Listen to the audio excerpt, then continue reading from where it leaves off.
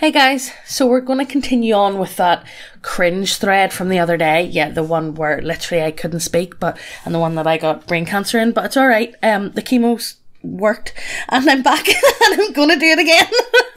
so let's into it. Be playing one of my first fifth edition games with some Discord friends on Roll Twenty. Text game due to spaghetti autism. Roll a dragonborn barbarian.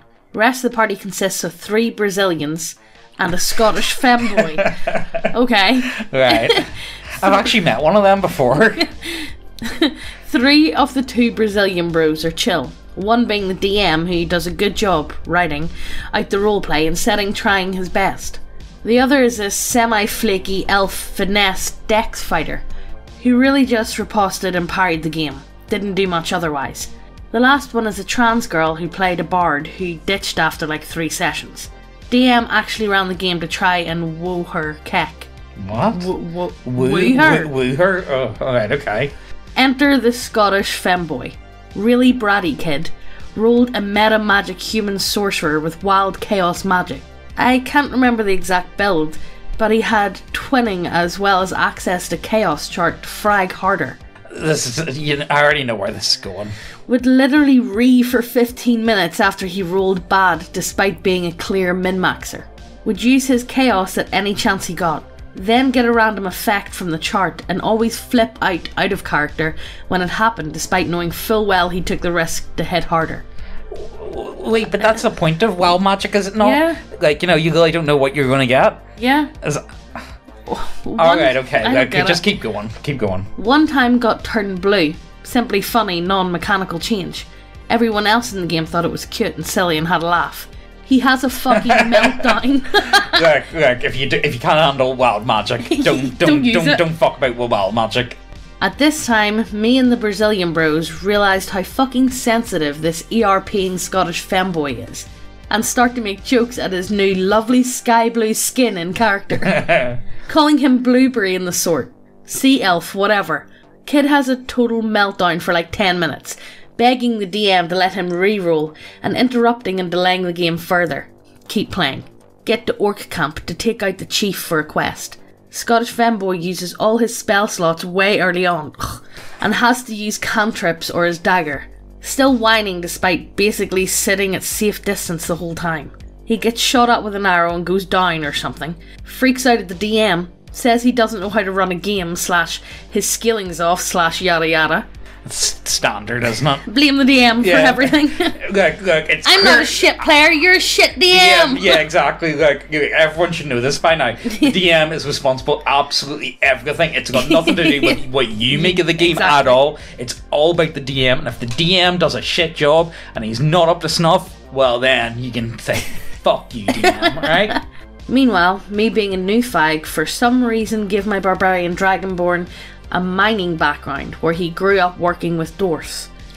That, wait, that's from the old Paladin party, is it not? Uh, never mind. Keep going. Keep going. Has mining as his background with mason tools slash background knowledge of stoneworking and minerals and his trusty pickaxe.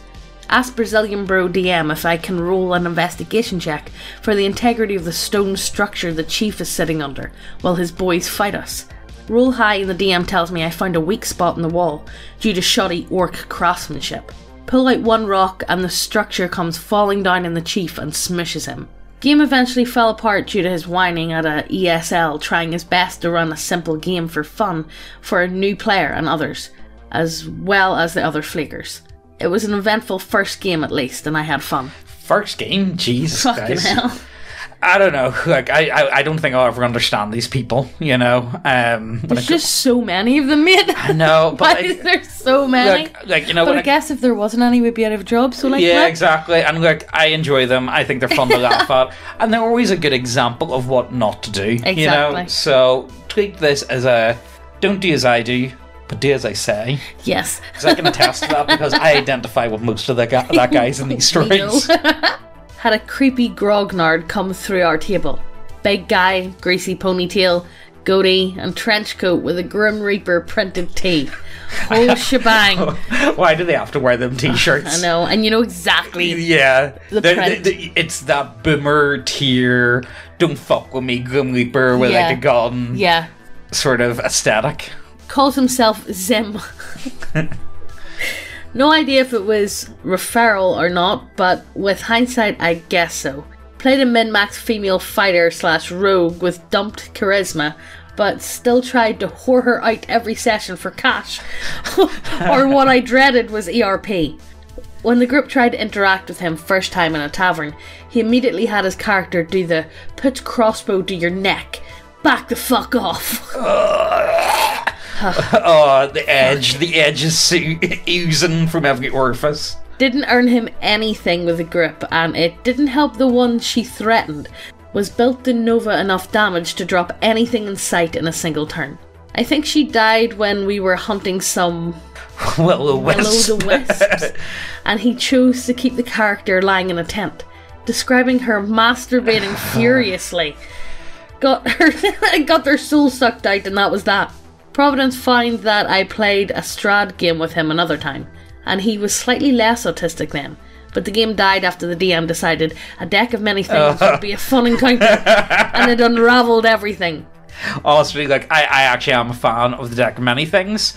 It's a fun way if like you know like if your game's falling apart anyway. Yeah, and- just or, like, chuck it on the table Just like, chuck it on the table, guys. it." Have fun. You know what I mean? I, I actually do think I am a fan of the deck of many things. Never saw him after that, and I just remember him as the weird dude obsessed with having his D and D murder hobo also be a whore. I mean, You, look, there's there's quite a lot of them.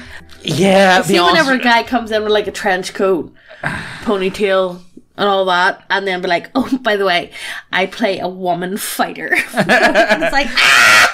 Honestly, I don't think I'll ever forget. I remember one of my teachers actually talking to me about the trench coat Mafia, and this was in like 2008. So this is like a good That ten years ages after. ago, yes, yeah. so that's like ten years after the whole Trenchcoat Mafia thing. Oh my! If any of you guys know what the Trenchcoat Mafia is, of course I can't actually Oh, we talk can't actually talk about it because you know obviously. sensitive issues and all that jazz. But uh, I don't know. It's one of those ones that always comes back to me in my Yeah, mind. yeah. Anytime I imagine someone with a trench coat, I automatically picture trench coat coat mafia. Yeah, yeah. It, was- honestly, it was a it was a OG meme before Yeah. it memes were a thing. Hey guys, do you like models in your tabletop role playing games? Cause we do too. Do you like having big bitty waifus on your table? Cause we do too. we got human biddies, we got lizard biddies, we got orc biddies, oni biddies, cat bussies. We've got everything you want at neckbeardia.co.uk. Check the links down below. It helps us out a lot. Sorry for interrupting the video, let's get on with the story. Be in a living server for Pokemon tabletop games. Oh, this is perfect. Fucking- oh, I, I, I, I, I'm Oh, looking forward to the story. I already know where this is going. General rule is in order to play some sessions, you need to spend currency that you earn from GMing sessions for your peers. Oh, that's kind of cool, actually. Yeah, but what if somebody's a shit fucking. I know, and then yeah, I suppose. Overall, very fun. Nearly everyone I interacted with in game and out of character was genuinely fun to be around. Oh, that's good. That's good. They had a rivalry with one player. Shit was cash. And then there's Riley. Wait, was Riley not one of the names of like the baddies in Pokemon? No, that was um You know the Gary? Or was Oh, it was Gary? Gary. Yeah, yeah, yeah. But Riley, Riley does sound like the type of name that would be. would be in Pokemon Yeah. being like yeah. To this day, I cannot point pinpoint what Riley's deal was. Whether he was just an edgy fuck or purely an autist with severe KY. I can say, however, that the dude had no chill in combat scenarios. GM a session for Riley, rival friend, and another player. The three of them were heading into an underground lab to find Pokemon and investigate it has been abandoned. Heading in, they find a pair of Klinks. Fucker Klinks? Like I only know the OG 150. So that's That's all I know. and some other Pokemon who attack them hostily. Riley pulls out his Haxorus on these. Oh, Klinks. Megan, is this going to turn into the last video? is this going to turn into the last video with all them fucking I hope oh, not. with all them vampire clan I memes? hope not. No, I'm not doing this again. I'm not doing not. this again. Like Megan, just bu- like, let's let's do this, right? Riley pulls out his Haxorus on these Klinks and proceeds to nuke both of them with a flamethrower, using a feat to boost its crit rate. It's a crit. Under normal circumstances, death in the system is possible. The victim's HP is reduced to minus 200 of their maximum. Riley exceeds that maximum. Fudging the numbers a bit, I tell him, You do not kill it, but holy shit, proceeds through the game as normal. A few months or weeks later, a new player joins the living server, bright eyed and eager to hop in. Everyone seems to welcome them, and someone runs a small expedition with them as well. Riley joins in. The expedition is set in a dark forest where slippery slugs and creepy crawly Pokemon live. At some point, new player, rival player, and Riley encounter thieving Look, guys, we're sorry. Okay, look, Accelgors, huh? look we're stealing we're berries from right? lesser Pokemon. New player tries to get them to stop stealing by using a bit of brawn and also telling them it's nicer to share. Rival player says, "Pfft, If it were up to me, I'd fry them. Psst, nothing personal, kid. Teleports behind you. For context, rival player is only playing up the role of being an asshole for the sake of his character eventually going through a heel face turn. He isn't actually an asshole. Okay, well that might be interesting. Although, judging by the way you've already gotten the story, Yeah. I'm going to assume otherwise. Yeah. Riley says, Hmm, okay, well, I guess I have to act like the law and decide who's right.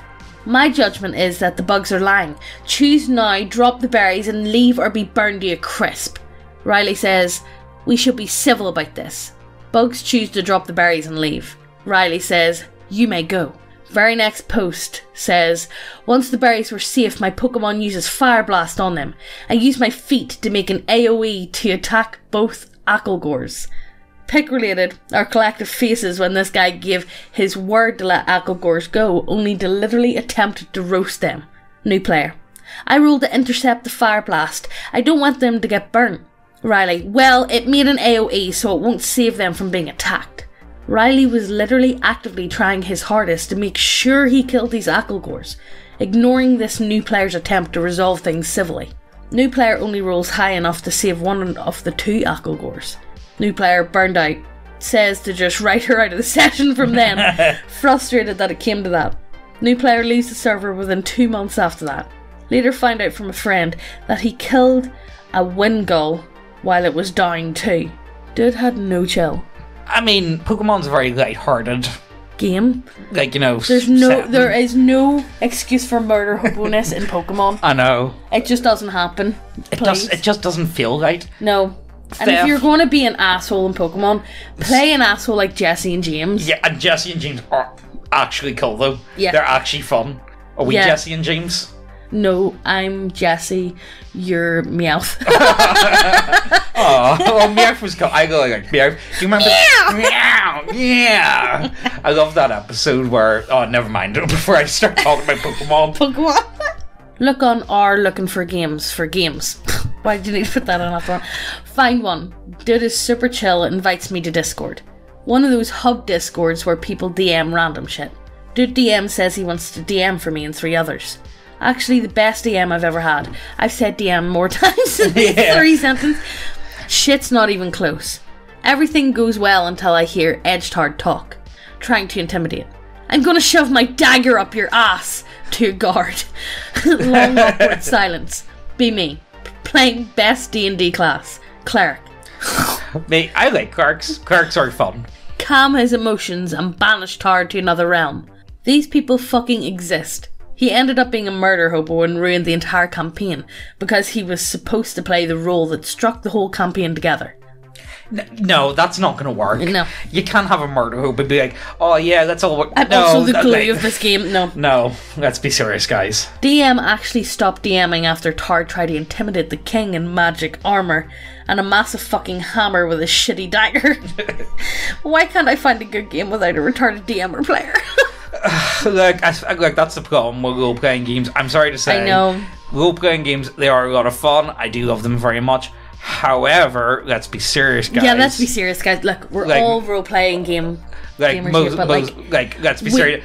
We are, Uh, we're a pack look. of fucking retards, Yes! a lot of us. Like, Yes! Like, we're all fucking retards here. hands up, I'm one of them. Yeah, like, you know. James equivalates to about six of them. Yeah. But look, we're all one of them. Look, it's just a matter of finding one that, That you can that, tolerate. that you can work with. Yeah. You know, because look, there's no such thing as the perfect group. You know, it's just not a thing. yeah. You know, I think you make do with what you've got, and like you know, as And long if as you find a good one, Stick with it. And that's why I said, if you- like, if you find a good DM, you suck his dick because over you- 18. Yeah, and you because you can always find new players. Yes. You- there's always new players. There's ho- It's like the fuck all good DMs. Like yeah.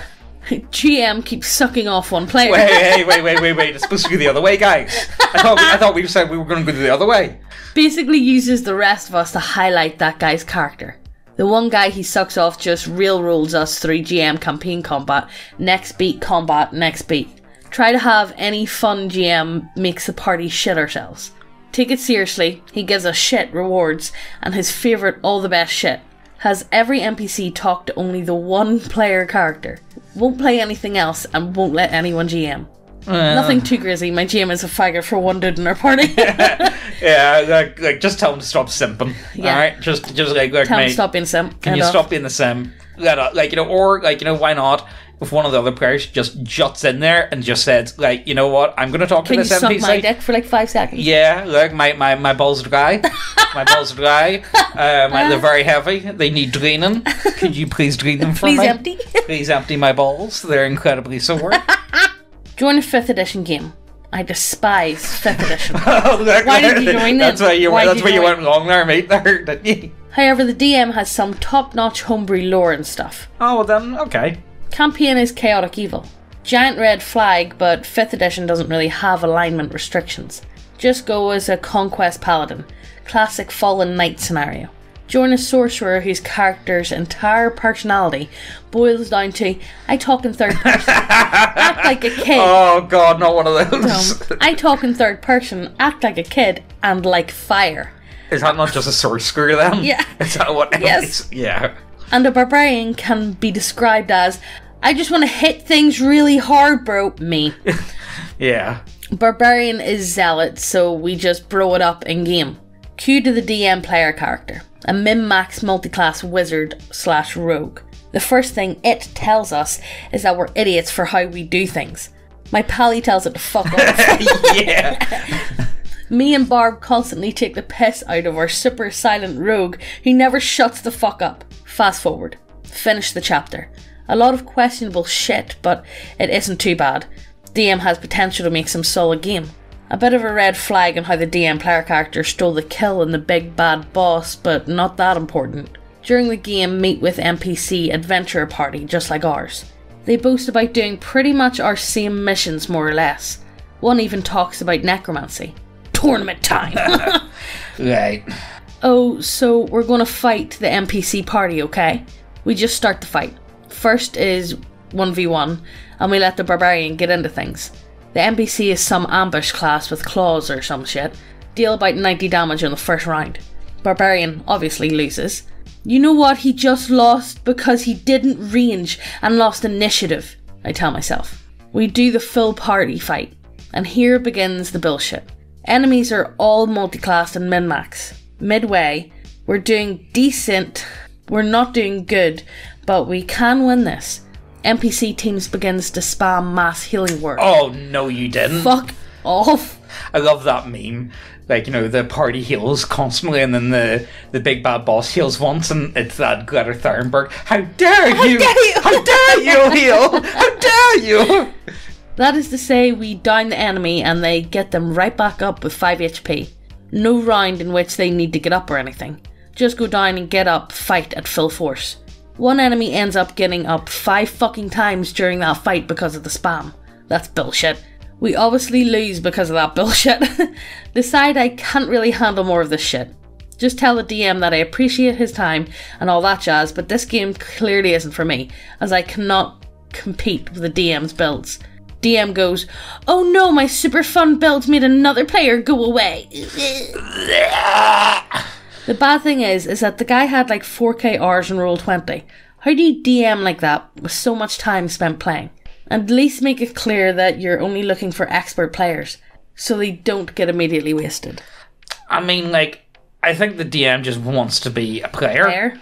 You know, if But why doesn't he just play then? I think Because then whenever he plays, he's probably going to be one of those backseat DMs. Yeah, and then he's like, "No, wait, I wish I could do this. Why are you not doing that Yeah. instead?" This is, oh, you know, the, you know the way you're doing things is completely wrong. If you do it my way, it's so much quicker, more efficient. You know, like you're, you're obviously you're just stupid, mate. Yeah. You know what I mean? Oh, there's not not much worse. You know, what do you do with this? What do you do?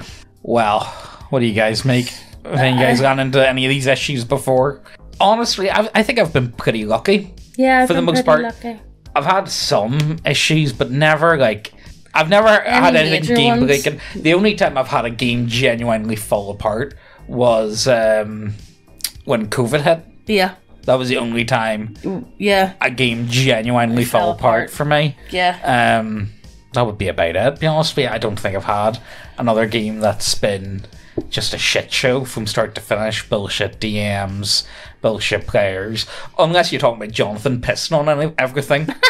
but like you know, like, all you need to do is a bit of control water, put that piss back up the back up the shit. Oh. you know what I mean? Well, as always, hit subscribe, check out the links down below, check out the models, the t shirts, the subclasses, all that good shit. Hit the notification bell as well so you get notified every time we post. Go over and check out my channel while oh, you're yeah. there. My links are down below as well. And we'll see you in the next video. Bye!